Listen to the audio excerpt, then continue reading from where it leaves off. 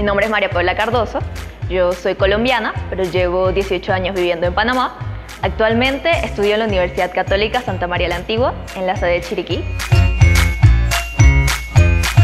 Ha sido una experiencia maravillosa, muy enriquecedora. He aprendido mucho sobre realidades que uno normalmente puede que solo vea en el texto, pero verlas en la vida real es muy diferente y lo hace a uno pensar más y crecer como persona. Me costaba tanto comunicarme con las personas. Yo no sabía que cada uno tenía sus maneras específicas. Cada uno se comunicaba con los ojos o solo podía mirarme, pero que cuando por fin lo logré fue maravilloso. Que se animen a conocer y a practicar la empatía con estas personas que no viven de la misma forma que nosotros, pero sienten, sienten, tienen mucha pasión y merecen muchas cosas buenas.